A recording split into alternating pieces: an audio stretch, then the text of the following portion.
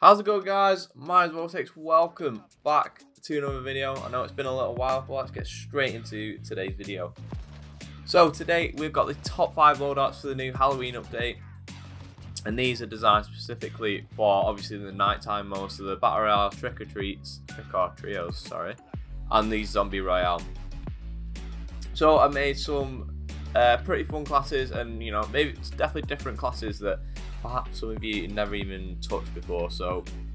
But I played the zombie royale a fair few times now and say I ha have a pretty good grasp of what kind of works in the game and you know if there is any clutches and obviously you'll see that I've implemented these into the classes. So let's go straight into this. As I said we've got five here and starting off we're starting with the AMAX or the Galil.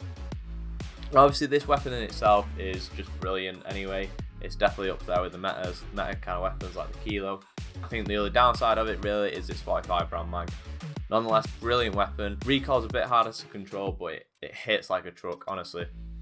And I think that's definitely valuable for for this kind of game, or especially the Zombie Royale. So this is kind of your typical loadout of what you'd expect to see from any kind of Warzone assault rifle. But instead we are adding a thermal scope. So obviously we've got the monolithic suppressor, we've got the longest barrel, commando foregrip, and the biggest uh, round mag, the 45 rounds. And then we added the Solozero thermal optic. Now, obviously there is a choice between a few, um, but personally I found that this one was the best in terms of clarity. So when ADSing down this, you'll notice that the area around it is kind of green. It doesn't really pick up on any other kind of heat.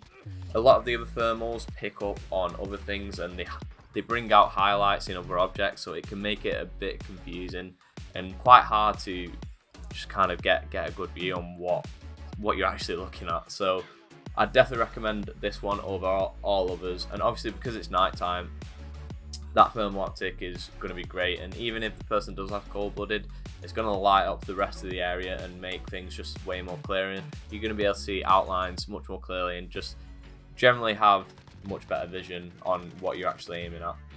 Now, I paired this up with the R9.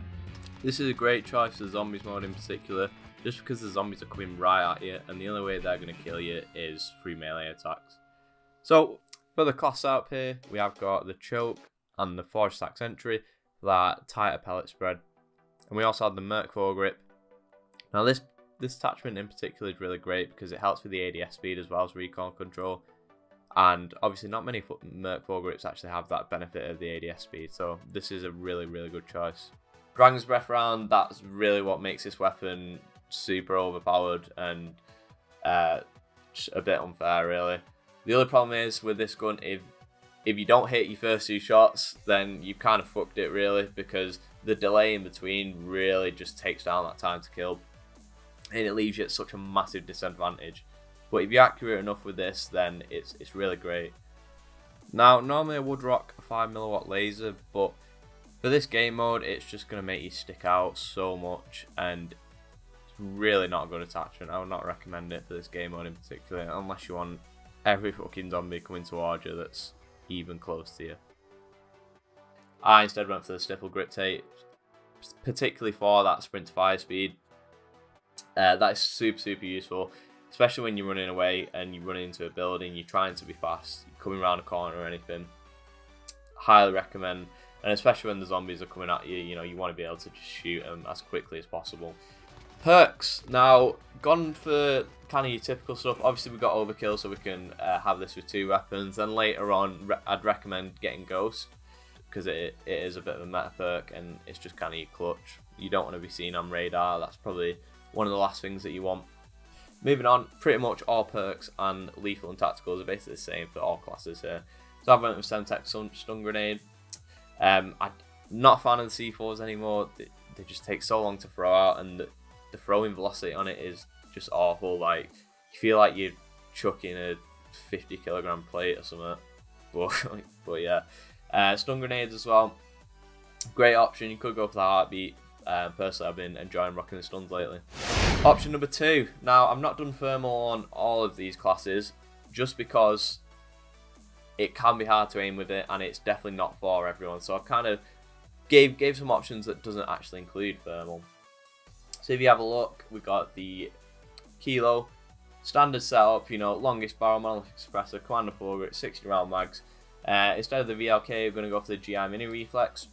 Yeah, so the damage on the kilo is a little bit lower than the AMAX, so that's why I decided to not use a scope on this, just because when a zombie's fucking running at you in its in your face and it's going left and right, swiping you, trying to kill you, it's very hard to aim with a, a big thermal scope.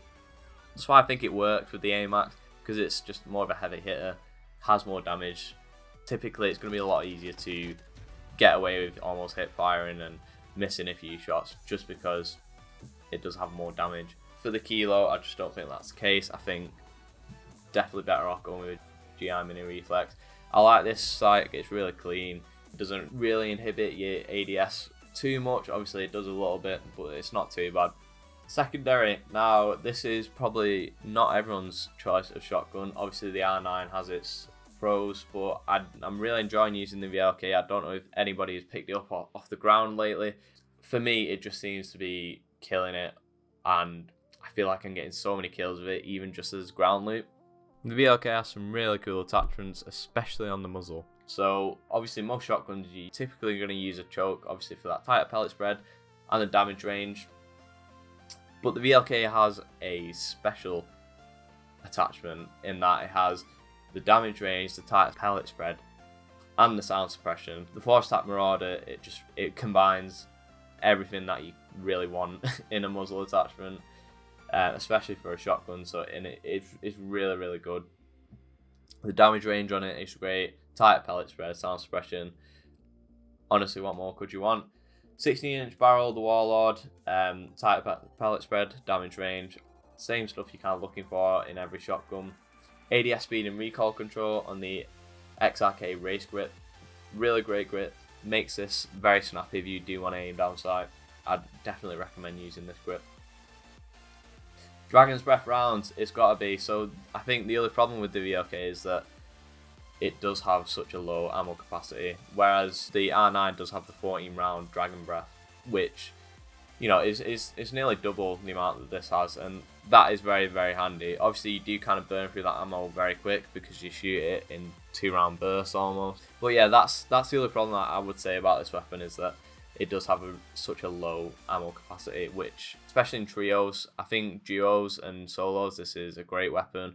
As soon as you start trying to take on more than two people, it, it becomes a little bit tough to use. And, you know, you sat there reloading mid fight, and it's, once again, not ideal. But yeah, who doesn't like going a bit sweaty every now and again? Also went for stipple grip tape, primarily sprint fire speed, really do want that very important. Once again, you could go for that um, sleight of hand. I don't actually have it unlocked here, which I didn't even realise. But the, the reload on this is fairly fast, anyways. Once again, same perks. Tactical, I've got heartbeat sensor on this. Um, just because I do anticipate maybe camping a bit more with this this class especially. So yeah, once again, definitely personal preference, same perks. Now, number three is a personal favourite of mine. I really love the Ram 7. I really, really love the HDR two of my favourite weapons in the whole game. I actually have the Ram 7 Obsidian. I've really thoroughly enjoyed this weapon and I've used so many different iterations of this class. For me, this is kind of the perfected version for both the regular modes and this uh, the new night modes as well. So the Ram 7 is definitely not everyone's cup of tea. The recoil it can be very hard to control. It kicks up sharply to the left straight away, but you take your time to learn this weapon's recoil pattern, you can really fry with this weapon, honestly. Got such an amazing fire rate. Has one of the fastest time to kills out of any assault rifle. Kind of barring the ASR right now, and the FAL as well, but obviously that's semi-automatic, so it does kind of depend on your trigger finger. But yeah, the fire rate on this thing is absolutely insane, and it, it shreds people so, so quickly. So, class setup we're going for here, we've got the monolithic suppressor, We've got the, the middle sized barrel now. You could go for the lower one, but I think the recoil at that point just becomes way too unmanageable. At first, if you're struggling with the recoil, I'd definitely recommend the Ranger, but it's going to make you a lot slower. And that's kind of why I've opted for the Forge TAC. It's a nice in between. increased damage range, increased bullet velocity, and definitely helps with the recoil control as well. While not really hindering my movement speed as much as the FSS Ranger would do, which is the longest barrel. Commando foregrip, you need that. You need that on this. Don't try.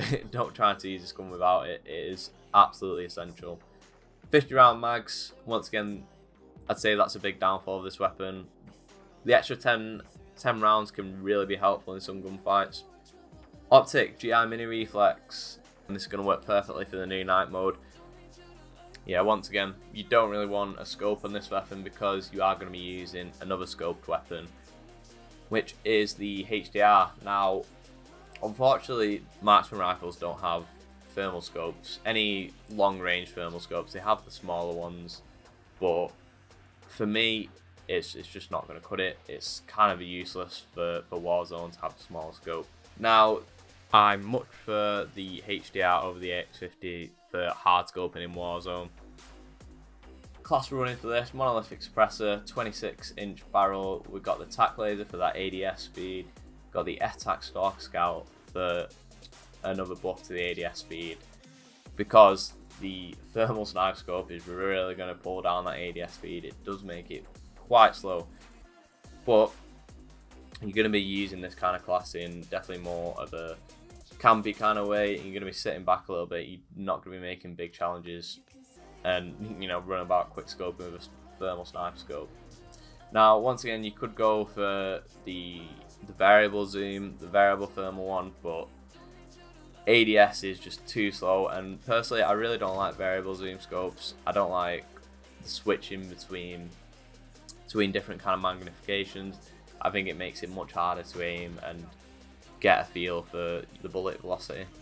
Although this gun is almost hit scan, I'd say. It's really, really easy to use. Now, if you go the AX50, you could. It's definitely a quicker ADS speed.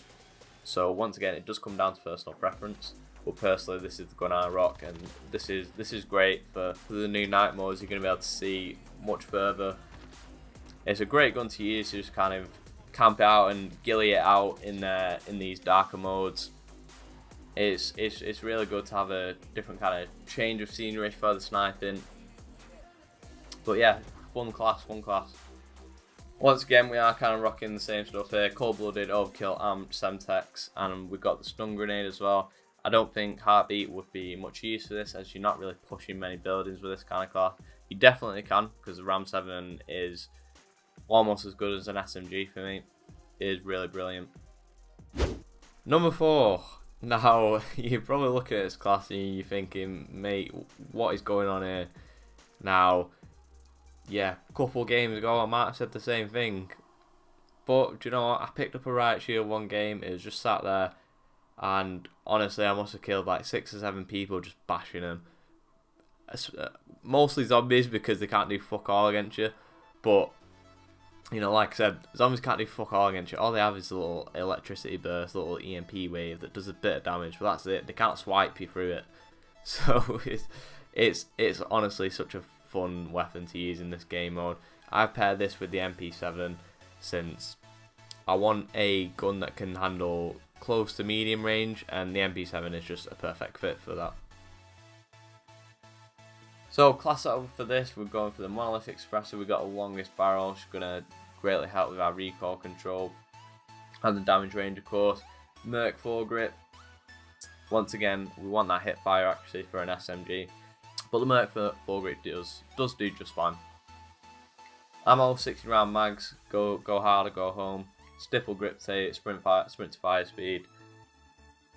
Perfect, it is a really good class, I love the MP7, it's quite an underrated gun to be fair. Once again, we got this with the riot shield. It is it is sweaty. You're gonna have some people annoyed. You might you might get some messages, but you know it it's funny, and that's what you want in it.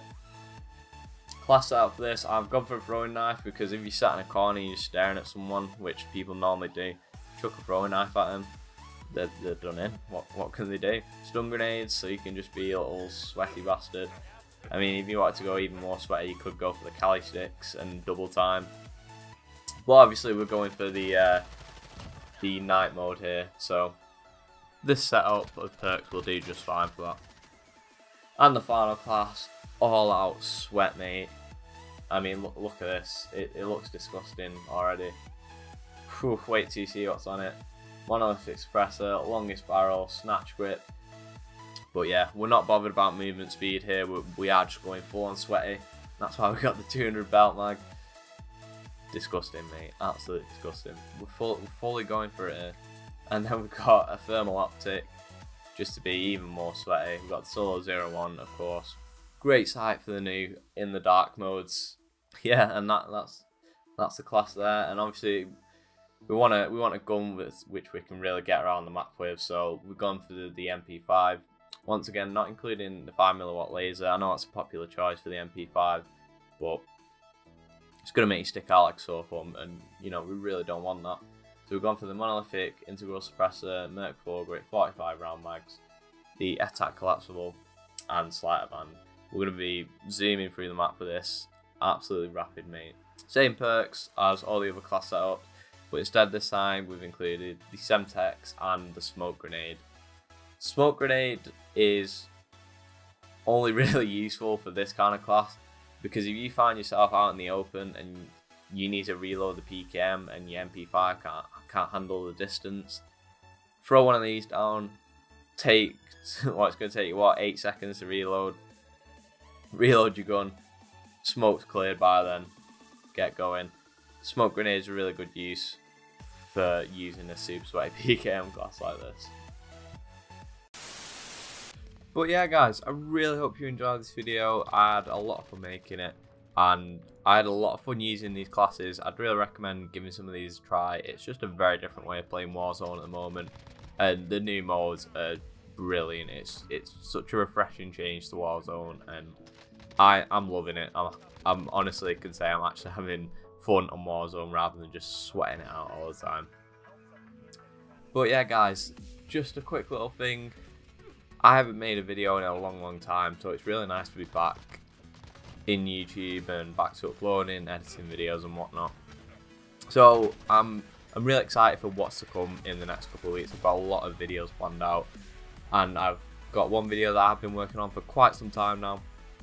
And so I'm really, really excited to get that out. I'm really proud of how it's turning out at the moment. Still not quite there, but I will get there hopefully. But yeah, if you could consider subscribing, that would be absolutely brilliant because I'm, I'm really, really super excited just just to be back into it. And yeah, I, I can't stress enough how how much I've missed doing this. So yeah, hopefully you guys enjoy this video. Please stay tuned for more videos like this and all sorts of different kind of Warzone videos. But yeah, please do leave a like. Don't forget to subscribe. See ya.